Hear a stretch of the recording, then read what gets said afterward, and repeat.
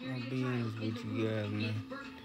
When I first got on TikTok and when I first started sharing my story, I was under the, I'm still under this impression, and I was still under the impression that my life is not rough.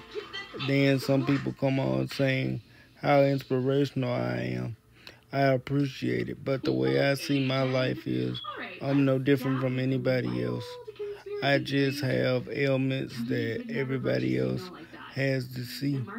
And I feel like I've grown so much.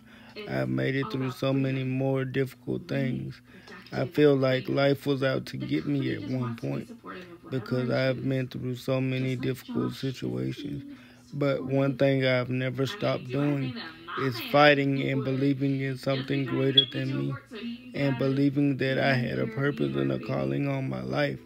I never knew what it was until I got into spirituality and it found me and now I feel like I found that calling and I'm fulfilling that calling with everything I go through in life.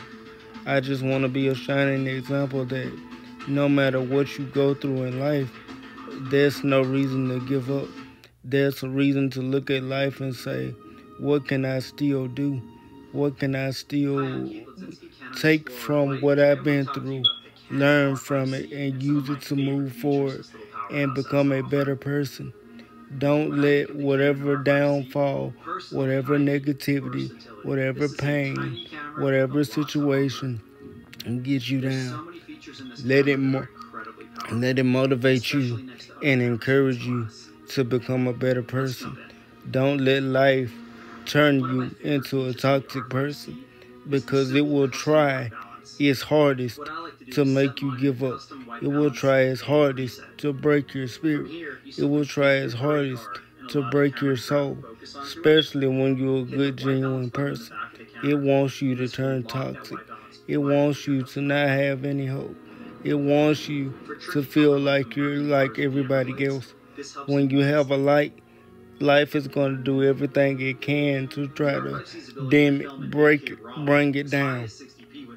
Don't let them experiences dim your light. Let your light shine brighter. Learn from those experiences. Feel their hurt, but learn from their hurt so you don't make the same mistakes.